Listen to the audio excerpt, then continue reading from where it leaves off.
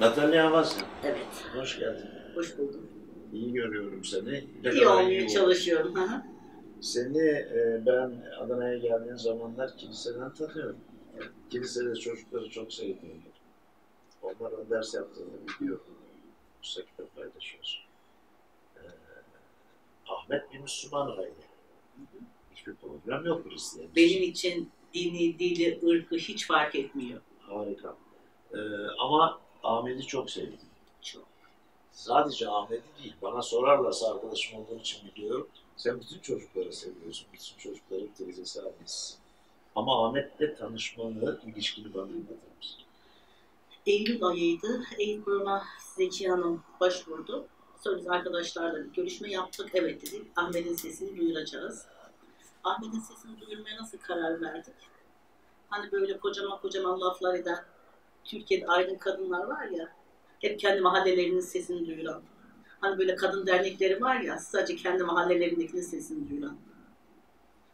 Ben dedim ki, biz Zeki Hanım'ın o kadar şeyiz ki, bir çubuk düşünün. Bir tarafta Zeki Hanım, bir tarafta ben.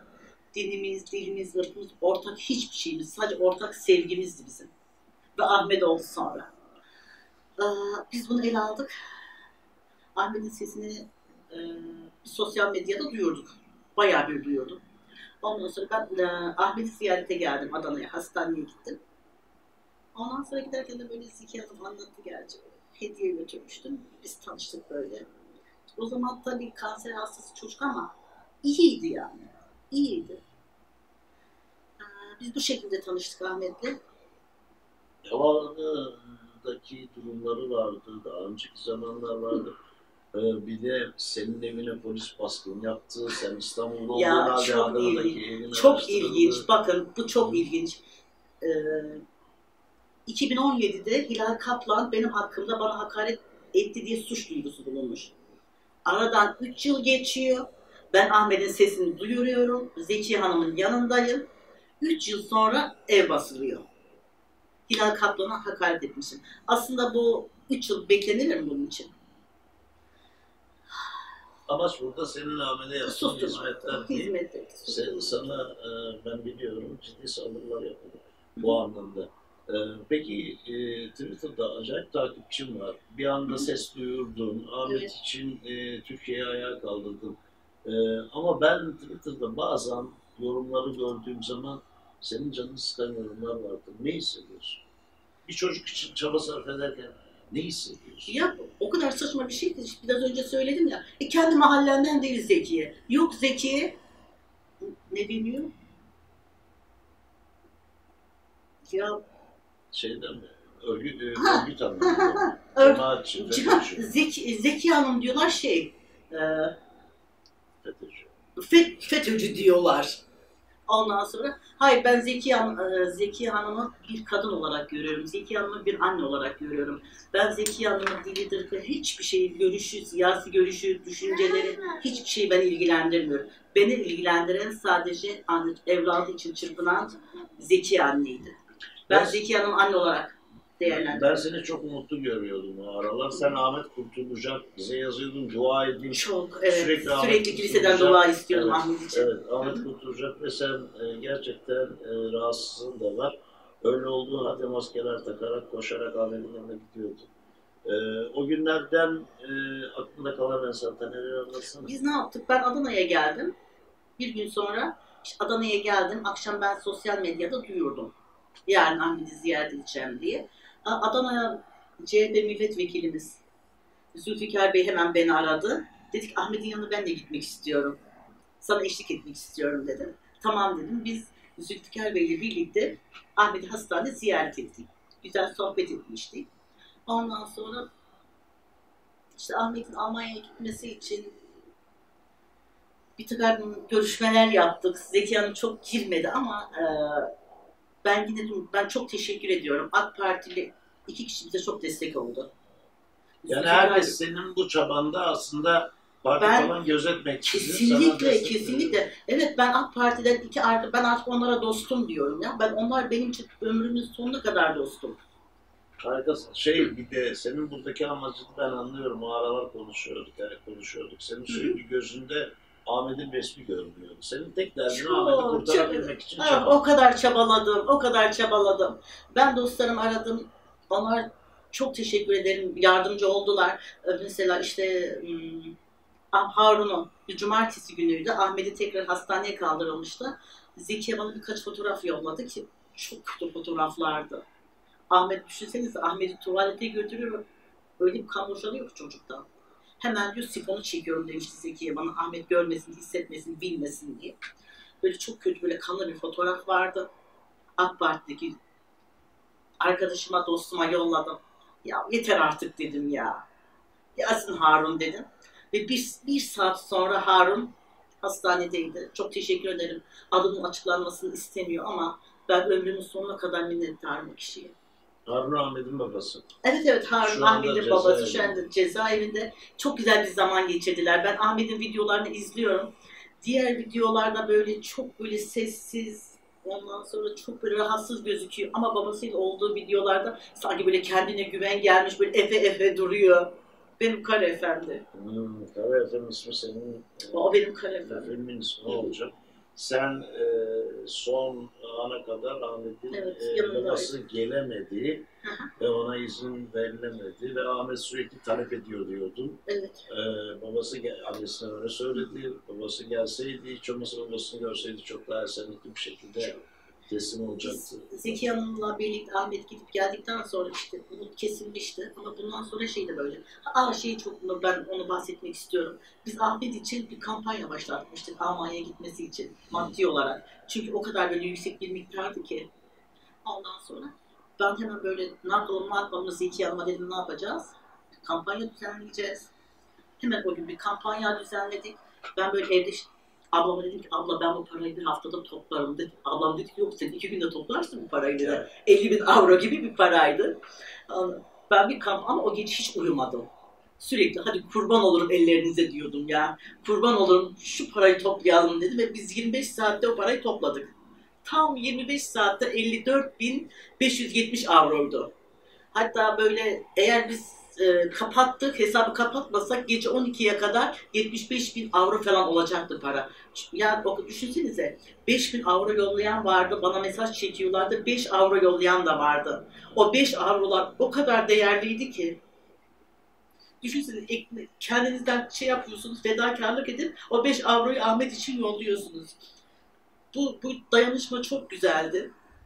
Biz para oğlumu kurtaramadık. Ne hissediyorsun? Görüyor Sonra- musun bazen Ahmet? Geçen gördüm rüyamda. Rüyada görüyorsun. Bir kez gördüm. Şimdi iyisin. En azından onun nerede olduğunu Aa tabii biliyorsun. biliyorum. Ben şey diyorum Zekiye diyorum. Ahmet bize cennette bahçe hazırlıyor. Bak, Zekiye bana çiçek yolladı anneler gününde. Dedim oğlumuzla böyle, böyle bizi orada böyle karşı- karşılayacak cennet kapısında. Böyle buketlerle bizi karşılayacak. En son işte Ahmet'in haz- vefat ettiği gün ben duydum hani Zekiye'yi aradım. Aa, Zekiye geliyorum dedim. Biz hastaneye gittik, ailemle gittik işte. Leon gitti, yeğenlerim gitti, Leon'un annesi gitti. Sen rahatsızdın. Hiç çok ağrıyor. kullanıyordun. Ve öyle olduğu halde gidiyordun. Helal, ben bir şey yapıyorum. İşte Müslümanlar diyor ya helal olsun. Evet ya helal olsun. Keşke Ahmet yaşasaydı da ben ömrümün sonuna kadar onun peşinden koşsaydım diyor. Hastaneye gittik işte Zekiye yukarıda biz aşağıda bekliyoruz. Zekiye telefon ediyor. Abla ne yapacağız dedi. Sonra dedim tamam Zekiye gel aşağı. Zekiye geldi. Yine AK Parti'deki arkadaşımı aradım. Dedim Ahmet'i kaybediyoruz. Ne olur babasını dedim. Bize yapmamız gereken evrakları söyledi. Bunları bunları yapın dedi. Tamam dedim ben. Ankara'da bir avukat arkadaşımız var. Mesut Can. Hemen Mesut'u aradım. Mesut dedim bu evrakları yaptırır mısın? Hemen yapıyorum abla dedi. Mesut evrakları hazırladı. Adana'da bir arkadaşı vardı, avukat arkadaşı. Ona telefon etti. Elden biz Mersin'e yolladık evrakları ki hemen olsun diye. Ama en son yine ben arkadaşımı aradım. Bana dedi ki sabah erkenden dedi Harun hastanede dedi ama olmadı. Olmadı. Bir şekilde engeller çıktı. Engeller çıktı. Evet, savcı sabah yollayacağını söylemiş. Hı hı. İşte ne yapalım? Biz Ahmet'i kaybettik. Senin çocuklarla ilgili güzel çalışmaların Evet, var. şey, evet Ahmet'i kaybettik. Biz Zeki Hanım'la birlikte e, dernek kuracağız. Ahmet Burhan Ataç. Biz bütün çocukları iyileştireceğiz. Amin. Rabbim size destek versin. En önemlisi o. Ve siz e, Ahmet'in adına bir dernek kuruyorsunuz. Bununla Hasta ilgili- çocukları Bununla ilgili çalışmalar yapacaksınız. var. E, Ahmet gibi olmasın diğer çocuklar imane uğramasın diye. AK. Parti hükümetin Ahmet'e borcu var. Her şeyi geciktirdiler, her şeyi. Düşünüyorum bazen, diyorum ki Ahmet diyorum, tam tarihte gitseydi Almanya'ya belki kurtulurdu diyorum. Çünkü hepimizin Zeki Hanım'ın bir sözü var, onu hiç unutmuyorum. Abla dedi, bizim Ahmet için çok planlarımız vardı. Ama dedi Allah'ın da planı varmış dedi. Bizim kutsal kitapta yazdığı gibi. Evet. evet. Allah'ın planı daha iyisiymiş dedi. Ahmet'i yanına aldı. Biz sonra Ahmet'i ne yaptık? Ahmet mezarlığa gittik. Ee, Sonra Ahmet oradaydı zaten. Ben, biz Zeki ile kararlaştırmıştık. Birlikte yıkayalım Ahmet'i diye. Dedik oğluma her şeyi biz yapalım. Ama tabii o izin verilmiyormuş. Ahmet'i yıkadılar. Sonra biz gittik Zeki'yle oğlumuzu sevdik. Ben şey yapıyordum böyle Ahmet'i eve ziyarete gittiğimde de kıyamıyordum. Zannediyordum ki böyle Ahmet'in canı yanacak. Ben ona böyle dokunduğum zaman. Böyle parmaklarımın ucuyla böyle seviyordum. İşte böyle tabutun içinde yatıyor böyle yüzüne eğiliyorum. Zannediyorum ki Ahmet'in canı yanıyor. Yüzünü sevdim. Böyle uyuyor gibiydi. Böyle kocaman kocaman gözleri böyle uyuyor gibiydi. Çok güzeldi. Sonra şey Kısılahane'yi boşalttılar. Zekiye ve ben kaldım. CHP milletvekilimiz Zülfikar Bey oradaydı. Ondan sonra altı, ya tam hatırlamıyorum. Altı veya sekiz jandarma olması gerekiyor. Kısılahane'ye Harun'u getirdiler. Harun'u görünce dedim, Harun çok özür dilerim ben Ahmet'i yaşatamadım dedim. Olur böyle düşünme dedim. Biz dedi biliyorduk dedim. Ahmet çok rahatsızdı dedim. Sonra şey, Zekiye böyle çok güçlüydü ama Harun'un yanında. Çok çok güçlüydü. Ben fark ettim şey böyle işte Harun daha fazla çünkü Harun 4-5 saat sonra tekrar gidecekti. Zeki çok güçlü durdu ama Harun ben bir babanın evladına yok ya babalar evladına veda etmemeli. Evlatlar babaya veda etmeli. O dökülen, o kefene dökülen gözyaşları. Harun'un o şeydi böyle, ilk böyle çok ağlıyordu. Elini saçına götürdü Ahmet'in. Oğlum sen saçlarını çok seviyordun dedi. Böyle saçını düzledi. Yaşlar böyle gözüne akıyordu. Dedi oğlum sen saçlarını çok seviyordun dedi. Ahmet'in saçını böyle yan ayırdı. Sarıldı, öptü, öptü. Oğlum ilk gittiğinde Efendimizin elini öp dedi. Ahmet'le konuştu, vedalaştı. Dedi annen ve, sen, annen ve benim için dedi seni cezalandırdılar. Konuştu, anlattı her şeyi. Veda etti. Başımı bir çevirdim. Evet ya baba, yok yok babalar veda etmemeli evlatlara. Evlatlar babaya veda etmeli. Ondan sonra en son Harun dedi Zekiye'nin elini tuttu. Zekiye dedi artık oğlumuzu yol, yolcu edelim mi dedi. Zekiye dedi. Vedalaştık. Kötülük ettik ama. Seni üzdük, bizi bağışla. Ama bu bizim için gerekliydi. Çünkü e, bu Natali ile Ahmet'in ilişkisini belgesel yapıyoruz. Aslında e, bir de şey vardı.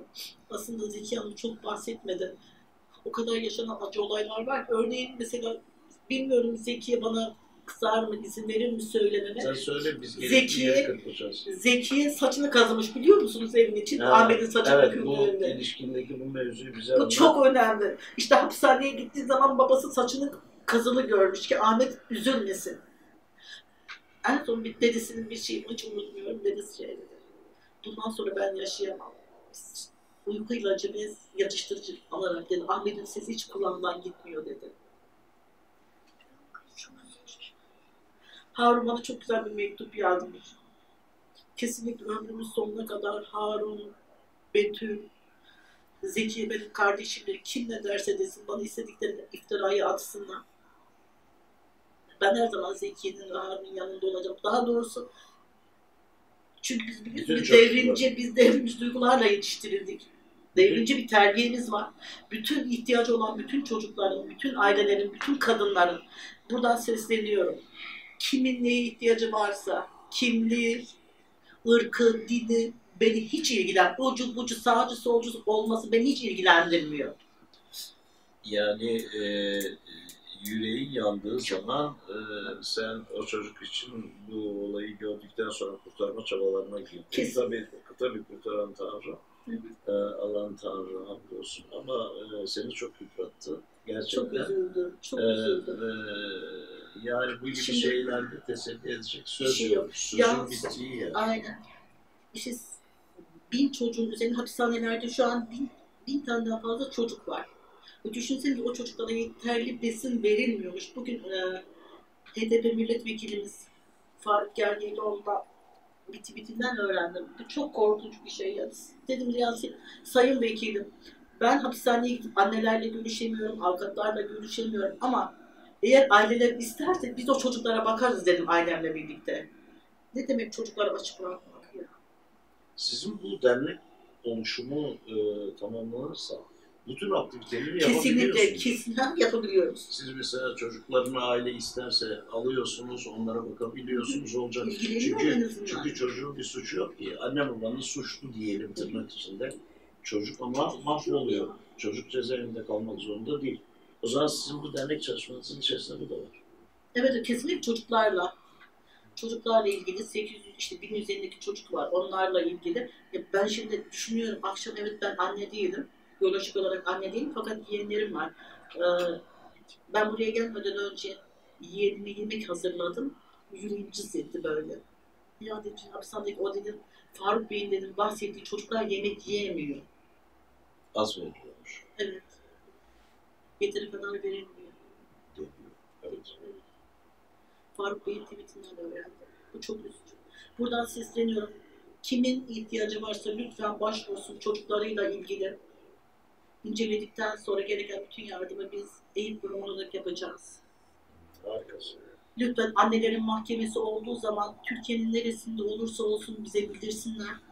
O çocukların ben e, adliye koridorlarında annelerini kelepçeli görmek istemiyorum ya. İstemiyorum çocuklar onu görmesin. Çok zor günlerden geçiyoruz. Evet, Mutlu Yavuz'a çok teşekkür ederim. Rica ederim. Ee, biz Ben bu, teşekkür ederim. biz e, senin de izninle, ailenin de izniyle bunu belgesel bir e, sinema ki. şeklinde e, bir araya getireceğiz. Bu röportajın amacı oydu. Senaryo yazım aşamaları devam Evet. ediyor. Ee, bize verdiğin destek için katkı için Aa, sana teşekkür ederim. teşekkür ederim. Rica ederim. Rica Ve ederim. çocuklara olan sevgin büyüyerek Ay çok etsin. seviyorum ya. Tanrım beni biyolojik olarak anne yapmadı. Bir çocuk doğuramadım. Ama benim üzerinde çocuğum var. Ben çok şanslıyım. Evet. Çok teşekkür ederim. Rica ederim. Çok teşekkür ederim.